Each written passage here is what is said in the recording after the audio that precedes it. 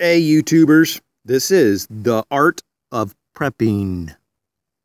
Today we have um, a Slitzer knife. Slitzer, um, let me just uh, go ahead and spell that out for you because it sounds a little different. S-L-I-T-Z-E-R. These are still made, believe it or not. Um, I had this for many years. And it's an all stainless steel knife. And um, I'm not really for sure how all this works, but I think that Slitzer because it says it's Slitzer Germany.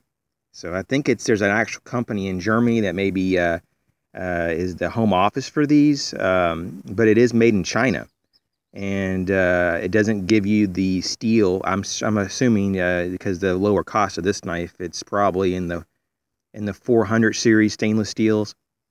Um, it does have though a U.S. patent number, so that's kind of interesting. Maybe the home office is in the, in America and then they have an office in Germany, and then they make them in China. I don't know, but they have a patent number on the pocket clip etched on there. It's uh, the pocket clip can be uh, you know reversed just in two places here and over here.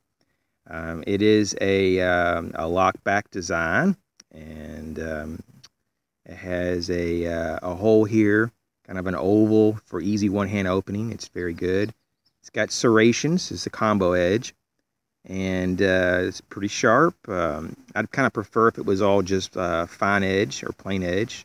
It has this wedge up here on the top of the blade, and uh, it's definitely more like a leaf shape drop point, almost like a spear point, really. And uh, it does have this uh, additional choil up here, so you could get up on it. There is no jimping; it's all smooth and there's no no jimping on the ramp here but you can still lock in pretty well.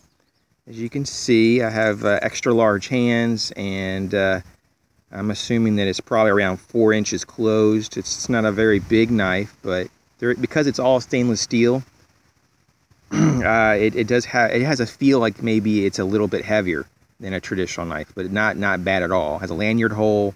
I just put some standard paracord. And I didn't have to gut the paracord. It was big enough of a hole for that. So just thought I'd show you that. It's the Slitzer. Uh, I don't know if there's any other word for name for it. It's just what it says. Uh, I think they namely and uh, mainly uh, deal with kitchen knives, to, to my knowledge.